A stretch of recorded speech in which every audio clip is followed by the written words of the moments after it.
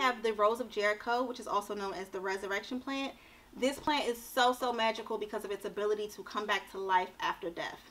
This is how the plant looks before. This is how it looks after you water it. So I do not have any water with me right here, but the way you would do it is you would put it in a bowl like this, or it doesn't have to be like this. You A bowl of your choice. Put it in there, fill the bowl up about halfway, and within minutes it will begin to come back to life in your face, and it will go from this to that. Once it dries out, out of the water, it will turn back into this. So it's so cool because to me, like I said, it represents life after death.